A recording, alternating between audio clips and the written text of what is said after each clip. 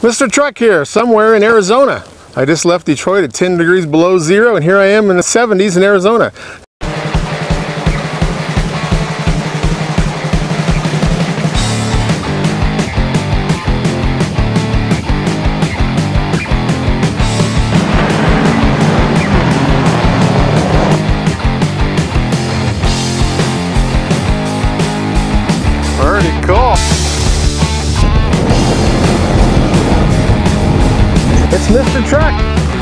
Driving the 2015 Chevy Silverado 2500 pulling a Bobcat and 2015 GMC Sierra Denali Dually 1 ton 3500 pulling a Logan Coach horse trailer. Seeing how the grade shift, seeing how the exhaust brake works on these grades. We're on some 6% grades, climbing some mountains up 5,000, 6,000 feet. We'll see how they do. Well, here, you're starting from the settings menu. Okay. Okay. And here's US or metric. But you go down one and you've got themes, display themes. Okay. Okay, so that we're in the standard theme that we we have it. You see the four gauges across the top Right, the center? I like that. That's a standard theme. Okay, and then where it says standard, you normally have whatever information you wanted to display there. Okay. But you can select technology. If you select that, the display changes to that. Cool. Okay? Oh yeah. Fuel, Yeah. And you got your compass all the way around. Yeah, that's awesome. Okay? That's one theme. And again, you can put whatever information you want in the middle. Or you can move it around. Oh, I see. You just Okay? Yeah, because if we go back out yeah, and we go up to here in this theme, Uh huh. now you can put your trip odometer in here. You can put your speedo in here.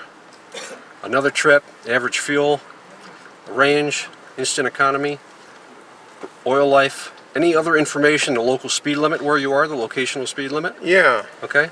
All within, you can put all of this in any of the themes. You just get a different look to the display. Right. So if you go back out, let's let's look at the last one. So go to down to what we're calling media. And it's just all with that. It's huh? all off of this button on the steering column right here. Cool. So you got that look to it.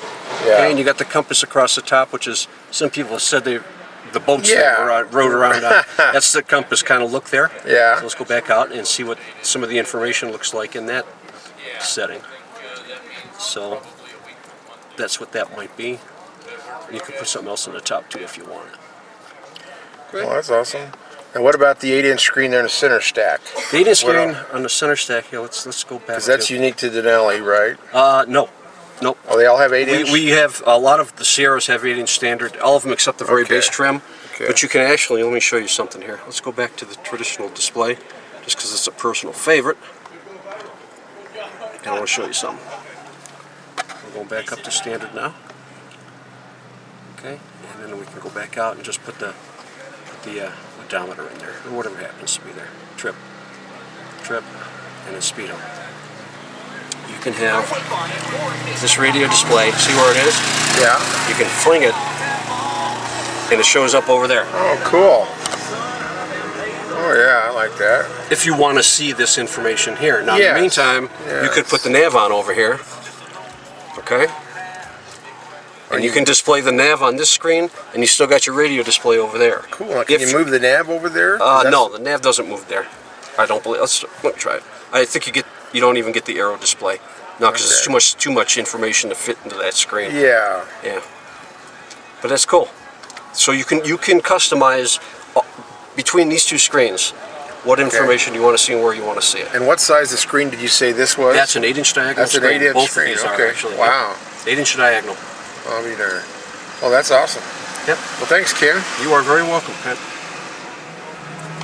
illustration, we took the Silverado, the Ram, and the Ford, all three-quarter tons diesels, uh, pulling 10,000 pound trailers to see how well they would hold 55 miles an hour with the cruise control on.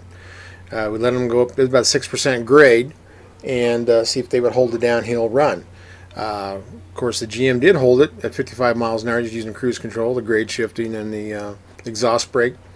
Uh, the Ram was like in second place, and then it was the Ford. But uh, GM was the only one that held it held it in place going down that 6% grade.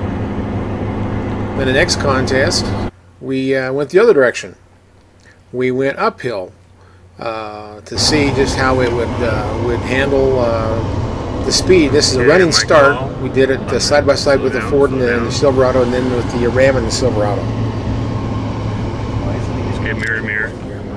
Ready, set, go. Uh-oh. Yeah. You got a whole set there.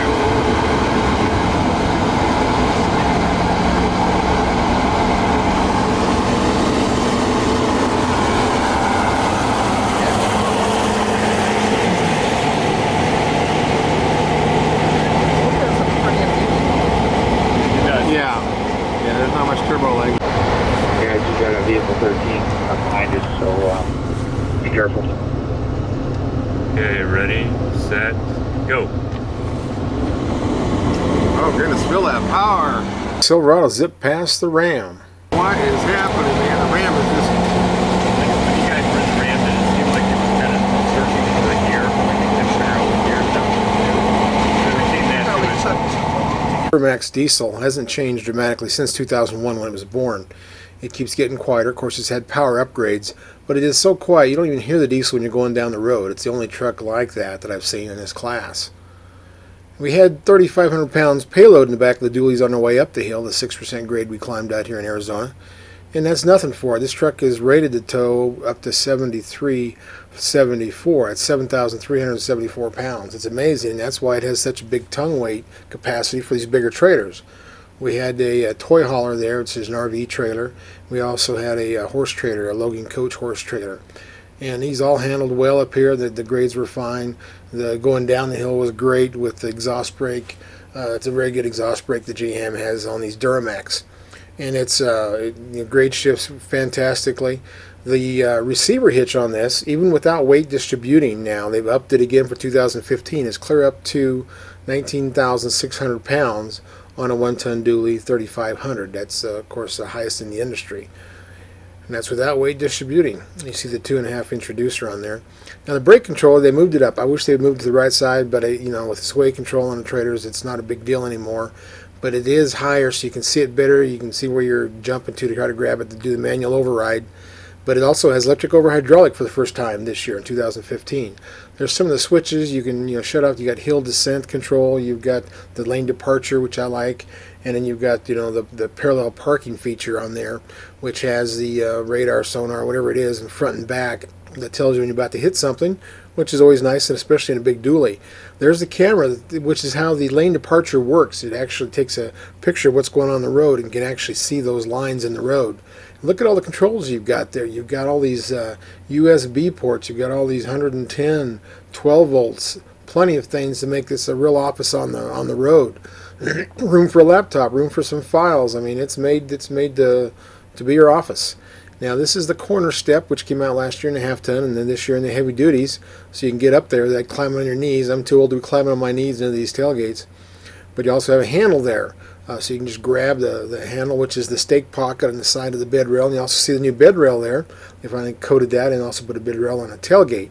But it's not on the dually yet.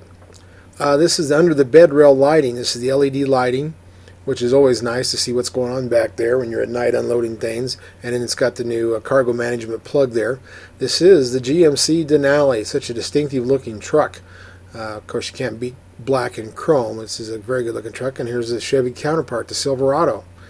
Now they've gone to a high country. I'm not sure if they have it in heavy duties yet, but they're getting up there, the high end trucks. Here we go, the bigger crew cabs, three inch more legroom, and the new uh, uh, double cab, which also has a uh, it's a rear facing hinge on it, so it's kind of like a coupe, but smaller.